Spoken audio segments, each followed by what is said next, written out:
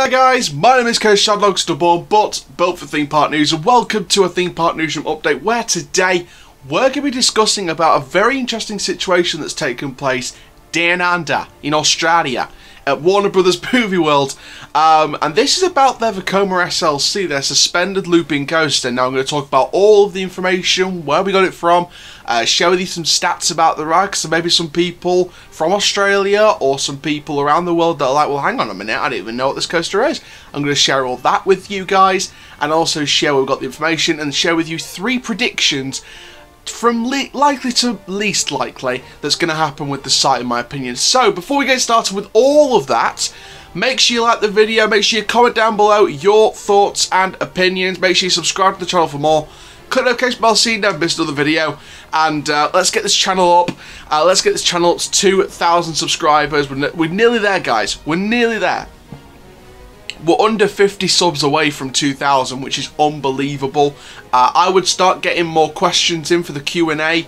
Uh, use the hashtag question before or after your question and uh, they will all be involved in the session. And also guys, make sure you keep viewing the old videos as well because we're going to release another milestone video for when we hit half a million total YouTube views, which is an amazing achievement, and uh, especially for a channel that's only two and a bit years old. Uh, and for now, guys, let's check out all the information on this. So this all started with um, some posts on the forum for Parkz. Now, Parkz is a uh, news site. It's based in Australia. Uh, I did get permission to use one of their pictures from the Dreamworld Australia construction update months ago for the uh, Blue Fire type coaster for next year. So, uh, you know, Park's doing an incredible job with what they do. Massive shout out to them. And it was discussed on the forum with some pictures and everything to go with it. And also, Gold Coast Theme Parks posted a video about the retirement of Arkham Asylum Shock Therapy, uh, the Vekoma Suspended Looping Coaster, or as we abbreviate in the enthusiast community, SLC. Now, this is all about the removal of theming, but also the the rumoured um, removal of the SLC after all the theming's gone down. Now, the ride has been closed uh, with no announcement from the park as of yet. I think it's just that whole thing of it's closing, but the park haven't officially confirmed it yet, but we all know it's going to happen. Um, so all the theming's been taken off. Well, not all of them so far, but they have started to remove bits of the theming and the rumour is the SLC is going to come down next. Now, we don't know whether this has been relocated or removed entirely and demolished and scrapped. Um, it is the oldest of this particular model of SLC. And, you know, we don't know if this is going to a different park or it's just going to get scrapped altogether. But, it, again, that's another situation where we're going to have to uh, sort of see with that. It's going to be interesting to see what the park do with that. And, um, like I said, I'll talk about my predictions a little bit more uh, towards the end of the video. But for now, for those of you who don't know, those of you Australians that are sitting there going, well, hang on, Coaster Chall, I don't know anything about Arkham Asylum shock therapy. Terrible Australian accent, I know. Love the people of Australia. Mwah, love your country. Um, but let's talk about Arkham Asylum shock therapy for those of you who don't know much about the ride. So as I said, this is a Vekoma suspended looping coaster. This is in fact the original 765 meter extended with helix model. Now, those of you might be familiar with that model. Of course, it's on four, well, three other operating coasters currently, and four coasters, including one removed coaster, and that is, of course, Cobra at Ratanga Junction that was removed just a couple of years ago. Uh, but there's also three current operating coasters. There is Blue Tornado at Gardaland, which might be the, the prime example for you European coaster enthusiasts, uh, Jaguar at Isla Magica, and Roller Coaster at Dream Park. But this coaster, Arkham Asylum Shock Therapy, is the originating model. It was the original one. Um, you know, Blue Tornado coming three years after this opened. Now, this first opened as Lethal Weapon The Ride back in 1995. It opened in December 1995. And um, this was known as Lethal Weapon The Ride right up until 2011. And then after 2011, it became known as Arkham Asylum Shock, Th Shock Therapy.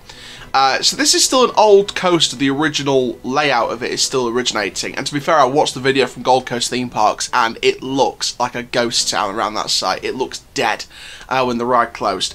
Uh, now this has a length. For those of you who know don't know about the stats of this, it has a length of 2,510 feet, a height of 109.3 feet, a speed of 49.7 miles per hour and five inversions over a duration of 1 minute 42 with a capacity of 1010 riders per hour. Now this, like I said, is the oldest of the models and there is already some debate about what could be replacing the coaster. So I thought I'd get on the bandwagon and I thought I'd put in three of my own coaster predictions.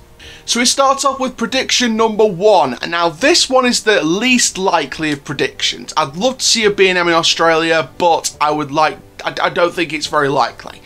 Uh, now you're probably thinking, why have I shadowed Griffon from Busch Gardens Williamsburg onto this site of Arkham Asylum Shock World? Now, the reason why I've done that is maybe not a clone of Griffon, maybe a clone of Griffon, you never know, but something similar in terms of layout. You can see a little bit at the back, sort of where extra track for Arkham Asylum is. They've still got some extra track sites to work with. Um, and obviously you'd have to maybe flip it around if you wanted to do the station somewhere else. Um, but it's that sort of style of dive coaster, so maybe an extended version of Griffon's layout, maybe nothing nothing too similar to Valravn and Yukon Striker, because that's way too big, but definitely something bigger than Griffon. I think if you were going to go for the most, the least likely option, which is a B&M dive coaster, I would go for something like an extended version of Griffon's layout, something longer, taller, faster, um, more inversion, uh, more inverting maybe than Griffon. Um, like I said, you've got that extra bit of track at the back to work with, and um, you know, I think it would be a decent site for a dive coaster. I might be wrong, but I think it's a decent site for a dive coaster, and um, you know, you could do some clever stuff with it. So, you know, it's something that could happen, but I think is the least likely possibility. So before any of you start commenting, why are you predicting a dive coaster? It's very unrealistic. Have you seen the site? Don't worry, it's the least likely of the possibility. I just saw the Griffon uh, layout and I thought, you know what? That actually fits in the site. If you extend it a little bit towards the back, maybe you could get an extended version of that layout, but you never, never know. Option number two uh, on your screen right now, of course, is the RMC Raptor coaster. Now, this one is another interesting prediction because, of course, this is the compact thrill coaster. Not much in the capacity department. Uh, however, I think that this, with being a compact thrill coaster, and I think you know, Warner Brothers Movie World, in Australia's terms, is one of the bigger capacity theme parks in Australia, but it's not the biggest capacity theme park in the world. So this is still a perfect addition, and it would be Australia's first single rail roller coaster, just like this would be, the, uh, just like the dive coaster would be the first B and M uh, in Australia, the first B and M ever in Australia. Uh, bearing in mind, so um, but this RMC Raptor, I mean, I showed you, I mean, the example on your screen is, of course, Wonder Woman Golden Lasso Coaster. Uh, but, of course, as you all know, there are many, many versions of this particular uh, Raptor track coaster. Of course, there is, there is the prototypes, Railblazer, Wonder Woman Golden Lasso Coaster, Stunt Pilot coming next year at Silverwood, and then of course you've got the custom layout, the extended layout, which is the Jersey Devil Coaster coming to Six Flags Great Adventure next year, and you've also got the one that's set to be coming in 2022 to Six Flags Magic Mountain as well uh, which is set to be something on the lines of Jersey Devil. So again, that's the sort of the bigger version of the Raptors. Uh, but I think if you were going to add a Raptor to Warner Brothers Movie World, you'd be looking at either a prototype or I think you'd be looking at a custom layout that's just a little bit bigger than the prototype. Nothing too Jersey Devil style, but I think you'd be looking at something bigger than the prototypes. Maybe only just, maybe a little bit more, but nothing as big as the Jersey Devil type layouts or the one going to Magic Mountain in that case. Um, but I think that an RMC Raptor is definitely a good addition for the part. Now, you know, I would personally like to see this happen. I think that it's it'd be nice for Australia to get a taste of the Raptor. If only the UK got a taste of the Raptor. um, but yeah, I think that what we're looking at here is, you know, Australia's first single rail coaster, and I think that that, my friends, would be a very good addition indeed. Finally, prediction number three, and this is another first for Australia. It's the first ever Gerstlauer Infinity Coaster in Australia. The first of its kind in Australia. Now, again, I've used an example of this. It might not be an exact example, but it's an example to the extent. And this is, of course, the Monster from Adventureland in Iowa. Of course, they're adding their brand new 4D free spin next year. Um, but I thought I'd use the Monster as an example of a Gerstlauer Infinity Coaster. Nothing too extreme, nothing, you know, Smiler related, get corrected. But, um, again, it's something as simple as the monster layout and I think the monster layout wouldn't actually be a bad layout to go for because from the reviews monster is not a bad ride it is not a bad ride at all you know you're still looking at five inversions 133 feet tall 2500 feet in length and you know 101 degree vertical angle. You're still looking at a decent roller coaster. They could go for other different layouts. They could put what a launch on it. They might have a launched one in mind. Uh, so something like Madagascar Mad Pursuit, but outdoors, or again, you're looking at something like the the launched version, which is the like the rolling launch that's on Junker at uh, at Powerland. Of course, they got two Infinity Coasters. They got Pitts Special that opened this year, which we did some coverage for uh, as well. So you know, there's a lot of you know different versions. If you were going to go for something that's a bit more shuttle launch concept and something that's not going to take up a massive footprint, so you can put loads of theming around it, I'd go for the Fury at Bobbejaanland type route. Uh, but I think if you're looking for a decent Infinity coaster, nothing too tall, not the tallest, not the fastest, not the longest, not the most inverting in the world, just a decent Infinity coaster that may not break any record. Obviously, it, it's going to be the first of its kind in Australia, which is a big record in itself. But in terms of actual stats on the ride, it won't break records. You just want a decent roller coaster that's going to give people the thrill of their life. And um, the first Infinity coaster of its kind in Australia, I think that fits the bill. I generally think that does fit the bill. And, um, you know, all three of these types of coasters, the first B&M in Australia, as well as the first dive from B&M in Australia, um, you know, Australia's first single rail coaster or Australia's first infinity coaster, all of them are breaking records. And to be honest, they are replacing an SLC that's probably, in my opinion, from the reviews over the last few years, maybe needed replacing for quite some time.